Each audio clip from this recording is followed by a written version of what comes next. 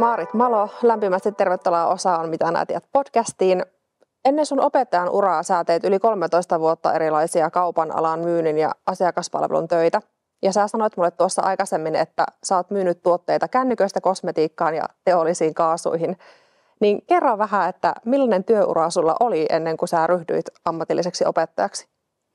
No tosiaan on kertynyt kokemusta aika monenlaisesta myyntityöstä ja aloitin ihan kosmetiikkakonsulenttina aikana ja koska mulla aikaisemmat koulutuksetkin liittyi siihen, maskeraajan kampanjan koulutukset. Ja sitä kautta sitten päädyin opiskelemaan tradenomiksi ja sitä kautta muihin kaupallisen alan tehtäviin. Eli sitten on tosiaan ollut kännykkäliikkeessä töissä, liittymiä myynyt ja, ja vaateliikkeessä töissä ja, ja tuota, sitten tietenkin myöskin teollisuuden puolella toimihenkilönä, esihenkilönä vaateliikkeessä ja sitten myöskin tämmöisessä liikuntakeskuksessa ohjaajana ja esihenkilönä. Että kyllä sitä työkokemusta tietenkin aika monenlaista on ehtinyt kertyä. Ja nimenomaan tällaisia niin kuin myynnin ja markkinoinnin Kyllä. työtehtäviä. Ja nyt sä opetat siis osaossa asiakaspalvelua ja markkinointiviestintää, palvelumuotoilua, myyntiä ja visuaalista myyntityötä. Eli pääset aika hyvin hyödyntämään varmaan sitä, mitä olet työelämässäkin tehnyt ja oppinut. Joo, kyllä se on ehdottomasti hyvä juttu tässä työssä, että mä pystyn hyödyntämään sitä mun mielestä monipuolista taustaa, mikä on sitten kertynyt sieltä. Että toki nuorempana ajattelin, että eikö osaa valita mitä tekee, mutta nyt se itse asiassa on todella hyödyllistä, että on tehnyt monenlaista tässä työssä. Oletko ajatellut joskus, että olet liian ollut jotenkin monessa paikassa, että oletko pitänyt sitä semmoisena heikkoutena, vaikka se oikeasti onkin Joo, vahvuus? nuorempana kyllä, koska ehkä silloin oli ajatus, että täytyisi keskittyä yhteen uraan, mutta nythän se ajatus on muutenkin muuttunut, että ihmiset eivät enää tee sitä 20 vuotta sillä samalla alalla töitä ja siitä on itse asiassa tosi paljon hyötyä nyt. No aivan totta. No hei, sä oot ollut siis 13 vuotta tehnyt kaikenlaisia töitä, saanut kokemusta työelämästä, niin miten sä sitten päädyit opettajaksi? Mikä sua siinä opettajan työssä kiinnosti? No mä oon ala-asteella ensimmäisen kerran jo halunnut opettajaksi ja se on ollut aina vähän takaraivossa. Ja sitten kun oli sitä työkokemusta tarpeeksi kertynyt ja tuli sopiva sauma siinä työuralla päästä tota opiskelemaan, niin sitten lähdin niitä opettajan ammatillisia opintoja tekemään ja, ja tota, heti pääsin aika lailla töihin jo ennen kuin valmistuin siitä. Elikkä tota, ja sen jälkeen on tiennyt, että näitä hommia haluan tehdä, että kyllä ne on vastannut sitä mielikuvaa siitä, mitä mä oon ajatellut opettajan työ olevan, mutta toki paljon muutakin. Minkälainen se oli sulla, aloitit opiskelut, ammatillisen opettajan opinnot ja sitten se tavallaan hetki siihen, kun sait sen lehtorin viran, niin kuinka kauan sulla meni siihen sitten? No mulla meni viisi vuotta siihen, että mä sain sitten ihan lehtorin viran, että siinä toki välissä tein, tein yhden lapsen, se vaikuttaa ja sitten kävin tuolla Raahenporveren kauppakoulussakin muutaman vuoden tekemässä töitä, mutta sitten tosiaan viisi vuotta kun olin näitä hommia tehnyt, niin sain tämän vakituisen viran sitten. Ja olet siis nyt lehtori. Kyllä. Ja kerro vähän sitä hetkestä, kun sait sen vakituisen lehtorin viran, joka oli ollut se sun tavoite oikeastaan niistä opintojen alusta saakka, niin millaisia fiiliksiä se silloin herätti? Siis kyllähän se on tosi voimakas fiilis, kun sä tiedät, että sä haluat tehdä sitä työtä ja sitten kun sä oot määräaikainen, niin sä et koskaan voi olla varma siitä, että jatkuuko se, että joudutko sä niin miettimään ihan uusiksi työkuviot, niin se, se vakituisuus tarkoittaa sitä, että nyt sä tiedät, että sä saat tehdä tätä, eikä sun tarvi enää joka syksy miettiä, että missähän mä oon nyt syksyllä sitten tai näin. Että tota, onhan se, olihan se aivan mahtava juttu sitten. Aivan varmasti. No puhutaan vähän sun työstä. Ja mainitsinkin tuossa jo vähän, että minkälaisia aiheita sä opetat täällä, mutta kerro vähän tarkemmin siitä, että minkälaisia juttuja sä täällä opetat ja keille? No mä opetan sekä nuoria että aikuisia, että aika laaja skaala opiskelijoissa ja tota, myöskin nuo aiheet, niin ne on, voisi ajatella näin, että, että myynti- ja asiakaspalvelu on semmoinen oma juttunsa ja ne on ehkä eniten sitä mun substanssiosaamista, mutta sitten markkinointiviestintä visu hyvin vahvasti myös työelämästä tulee, niin on sellaista semmoista luovaa tekemistä. Ja ne asiat, mitä siellä opetetaan, on myös paljon semmoisia luovia asioita. Eli käydään ihan myynnin tekniikoita siellä myynnin puolella, perusasiakaspalvelun tekniikoita, asioita, mitä siihen liittyy, mutta toisaalta sitten markkinointiviestintä, palvelumuotoilu, visu, niin me saatetaan jopa niin kuin tänään esimerkiksi ryhmän kanssa maalattiin, tehtiin väriteoriaa, tehdään monenlaisia asioita, tehdään digitaalista markkinointia, suunnitellaan mainoksia, se on aika laaja se paletti. Palvelumuotoilussa voidaan tehdä joku muutosprojekti vaikka johonkin. Meidän oppipuotiin tehtiin viimeksi ryhmän kanssa. Et se on aika semmoinen monipuolinen setti erilaisia asioita. Voisi ajatella, että pitää sullekin sen työn aika mielenkiintoisena, kun saa tehdä noin valtavan laajan niin kuin aihepiirin kanssa niitä hommia? No se on just se, mikä mua sytyttää tässä työssä aika pitkälti, se vaihtelevuus, että on ehkä persoonanakin semmoinen, että tarvin sitä vaihtelua ja, ja tässä työssä sitä todella tulee. Ja se ei ole niin, että joka vuosikaan olisi samanlainen, vaan se vaihtelee myös hyvin paljon. Hmm. No kerroitkin tuossa, että opetat sekä aikuisia että nuoria, niin kerro vähän, että minkälaisia opiskelijoita sulla on? Minkälainen tuota, fiilis teillä on siellä oppitunneilla? Siis meillä on yleensä aina hyvä fiilis oppitunneilla, että, että yksi tämän työn suola on juurikin ne opiskelijat. Ja mä koen, että se on tosi tärkeää luoda sinne semmoisen hyvää ilmapiiri sinne luokkaan. Ja mä koen, että ne on tosi kivoja ne tunnit. Se riippuu paljon siitä, mitä tehdään myöskin. Että jos meillä on joku hyvin käytännönläheinen projekti, niin totta kai se on myös vielä rennompaa kuin sitten, kun tehdään teoriaa. Mutta mutta opiskelijathan on pääsääntöisesti tosi ihania. Et toki meillä paljon haasteitakin on, mutta, mutta tota, kyllä ne on aivan mahtavia, etenkin on meidän nuoret. Ja olla mukana heidän siinä kasvussa ja kehityksessä, niin se on ihan mahtava juttu. Mitkä on sulle semmoisia kohokohtia opettajan työssä tai milloin sä koet erityisesti, että, että jes mä teen niin oikeata työtä? niitä on juurikin nämä ihmiskohtaamiset, kun mulla opiskelija vaikka kertoo mulle, että se on vaikka jostain minun kehotuksesta tehnyt jonkun asian, mitä se on lykännyt vaikka kuinka pitkään. Ja se sanoo vaikka mulle, että ihanaa, että sä niin otit tämän asian ja että sä kuuntelit mua. Ja, niin semmoiset on niin ehkä niitä, mistä kaikista eniten niin saa sitä palkintoa tavallaan, että pystyy niin auttamaan jotain ihmistä oikeasti sen elämässä. Mm.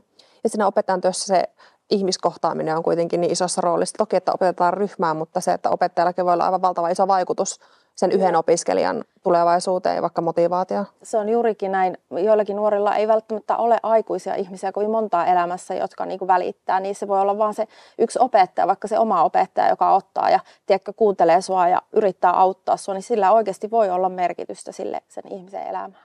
Siis aivan ehdottomasti. Tota, miten sä itse koet, että se sun aivan valtavan laaja työkokemus, minkä olet hankkinut, auttaa sinua liiketoiminnan opettajana ja miten sä hyödynnät sitä noissa opetustilanteissa ja minkälaista viestiä sä viet, viet sun opiskelijoille?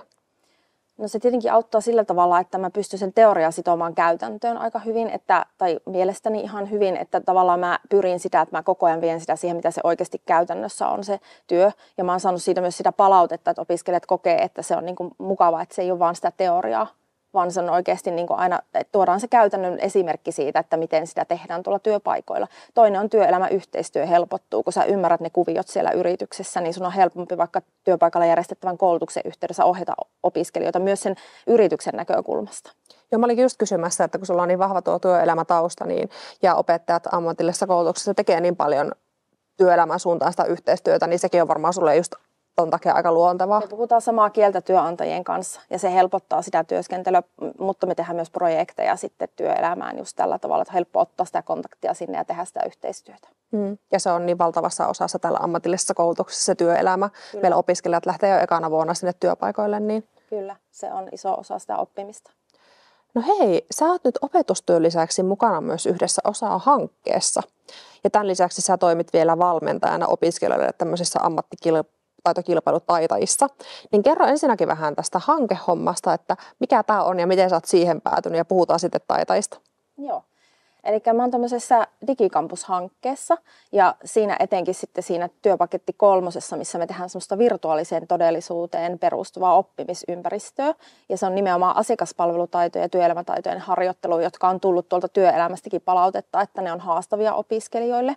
Ja me kehitetään VR-laseille tällaista oppimisympäristöä. Ja me ollaan pedagogisena asiantuntijana minä ja minun hankepari sitten siinä. Eli yritetään miettiä just sitä, että miten siellä se oppiminen parhaiten tapahtuisi ja minkälaisia asioita siellä tulisi ottaa huomioon. Tosi mielenkiintoista ja siistiä, että olet päässyt sen, sen leipätyön perustyön lisäksi tekemään tällaista. Miten sä oot itse kokenut, että olet saanut tämmöistä uutta tähän rinnalla?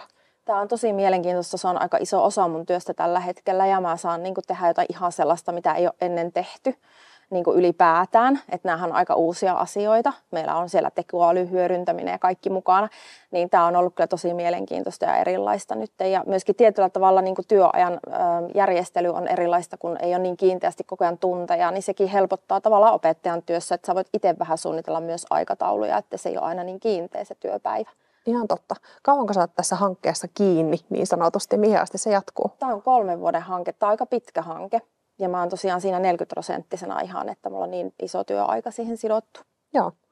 Mielenkiintoista nähdä, että mitä sitten, minkälaisia tuotoksia ja tuloksia sieltä hankkeesta sitten tulee. Niistä varmaan kuullaan myöhemmin lisää. Ja oot tosiaan valmentajana tässä ammattitaitokilpailutaitajassa, niin kerro vähän sitä, että mitä on olla taitaja-valmentaja? No taiteavalmentaja täällä meillä, niin minun roolihan on asiakaspalvelun ja myynnin 301-lajin valmennus meillä.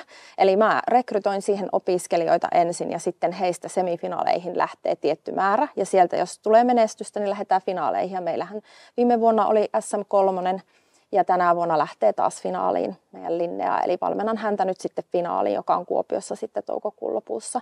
Siihen kuuluu mentaalivalmennusta, edellisvuosien tehtäviä läpikäyntiä, erilaisia harjoitteita, millä me pyritään varmistamaan, että se, se, sitä menestystä tulisi siellä. Nyt mennään myös sitten sinne työelämään harjoittelemaan, kun on kontakteja minulla sinne, niin lähdetään reenaamaan myös niitä asioita sitten siellä. Kuulostaa tosi mielenkiintoiselta. Miten sä itse olet kokenut tämmöisen valmentamisen? Mä tykkään sitä ihan tosi paljon, kun mä saan niin kuin tehdä töitä pienemmän ryhmän kanssa ja jopa yksittäisen opiskelijan kanssa ja käestä pittäin. Ja kun se opiskelija on vielä motivoitunut, niin se on aivan tosi niin kuin palkitsevaa. Niin ja tietenkin se, että finaaleihin pääsee sitten todella niin kuin taitavat opiskelijat. Kyllä. Ja niin kuin tämä Linnääkin on varmasti tosi hyvä. On ja hän on vielä ykkösvuoden opiskelija vasta. Että wow, okay. hän, on, hän on todella niin kuin potentiaalinen kilpailija sinne. Miltä se tuntui viime vuonna, kun meillä tuli tämä pronssi? Niin miltä se tuntui valmentajan näkökulmasta? Siis tuntuuhan se tosi hyvälle, kun oli ensimmäistä kertaa valmentamassa ja toki Olivia oli hyvin itseohjautuvaa ja hän oli kolmosvuoden opiskelija, että sinänsä en voi ottaa sillä lailla kunniaa siitä yksistään todellakaan, mutta tota, olihan se niin tosi ylpeä fiilis olla mukana ja niin todistaa sitä menestymistä siellä. Mm. No jos mietit tuota osaata työpaikkana, sä oot täällä useamman vuoden ollut, niin mikä on sun mielestä niin parasta osaossa niin kuin työntekijänä? Mitkä on sulle niitä semmoisia tärkeitä ja parhaita juttuja? No kyllä se on tämä meidän henkilökunta. Meillä on hirveän rento ja mukava porukka täällä. Voi jakaa asioita, voi keskustella milloin vaan kenen tahansa kanssa oikeastaan. Ei, se on tosi semmoinen mukava se ilmapiiri. Ja toki kun talo on suuri, niin mahdollisuudet on suuria myöskin. Että voi tehdä niin monenlaista, että siitä mä tykkään kanssa. Ja niitä mahdollisuuksia tulee aina uusia. Että se, on, se on mun mielestä toinen semmoinen iso, iso tekijä kyllä. Niin ja sä oot niin kuin elävä esimerkki siitä, että sä oot mukana tuossa taitajatoiminnassa ja sitten oot vielä tuota, hankkeessakin mukana, niin kertoo sitten, että opettajatkin pääsee, niin kuin, tai lehtorit pääsee ja opettajatkin pääsee niin, kuin niin moneen mukaan täällä. Mm, kyllä, jos itse on aktiivinen ja tuo itseä esille, että haluaa tehdä näitä juttuja, niin, niin kyllä varmasti saa tehdä monenlaista. Hmm. No kun kuuntelet tätä sun tarinaa opettajuuteen, niin sieltä välittyy se, se ajatus siitä, että sulle palkitsevinta on tässä varmaan ne opiskelijat ja ne onnistumiset sieltä, niin onko se se, mikä saa jaksamaan silloinkin, kun on vaikka vähän tahmeampi työpäivä, kun niitäkin kaikilla kuitenkin on? On. Se on nimenomaan se, että niin kuin, muistelee vaikka jotakin ihania kommentteja, mitä on saanut, niin ne on tosi niin kuin, ihana miettiä niitä jälkikäteen.